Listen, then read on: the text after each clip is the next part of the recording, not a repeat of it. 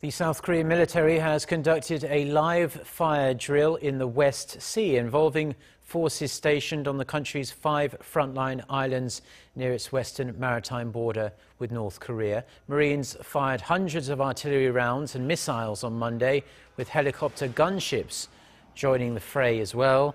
A military official said it was a routine drill to ensure combat readiness and that North Korea had been informed well in advance. South Korea has beefed up its military assets in the region since North Korea's bombardment of Yeonpyeong-do Island in 2010 that killed four people.